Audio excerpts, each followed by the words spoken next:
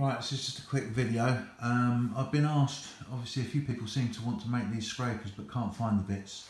Uh, this is the old roof scraper that I've been uh, making.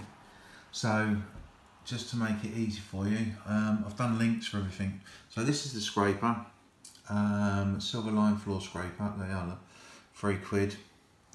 And there you go, there's the item number, everything like that. Now you probably find cheaper. None of these are the cheapest prices, it's just what I clicked on straight away. Okay, um, that's the type of cam lock. Right, they're on eBay, everything like this. What I've done is I've just found another site so you get an idea so you know what this is. Uh, Techrex, right? This is a D now these seem bloody expensive. I didn't pay that. That's twelve quid for that one, right? And it's this one here. It's the three. It's the three quarter BSP, right?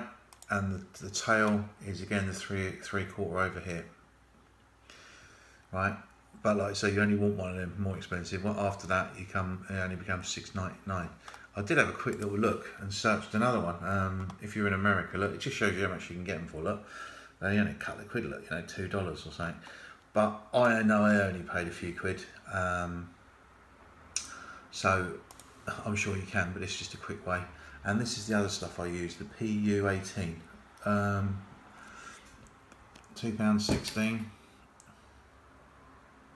Platinum Supplies. Again, I'm sure you can find it cheaper.